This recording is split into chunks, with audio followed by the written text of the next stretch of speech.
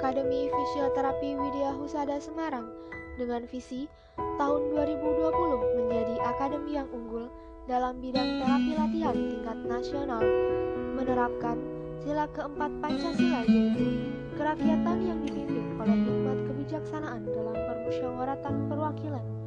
Dalam hal ini, wajib menghargai keputusan yang diambil dari hasil voting dan musyawarah dalam pemilihan presiden dan wakil presiden dan berjanji agar mengabdikan dirinya untuk kesehatan masyarakat Indonesia.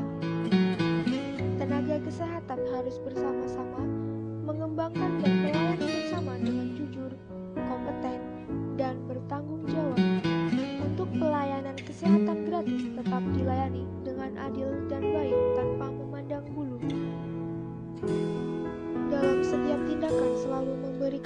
penjelasan secara lengkap dan rasional sebagai dasar pertimbangan pengambilan keputusan oleh pasien dan keluarganya.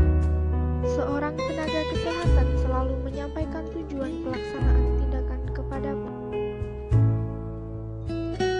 Walaupun dari pasien BPJS, tenaga kesehatan melayani dengan adil dan baik tanpa memandang. Selain itu, tenaga kesehatan wajib menghormati setiap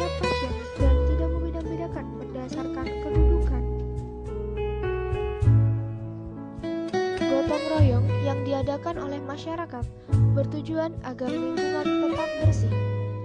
Dalam melaksanakan peraturan perundang-undangan, diadakannya musyawarah antar pimpinan guna mengimbangi dan memenuhi kebutuhan masyarakat.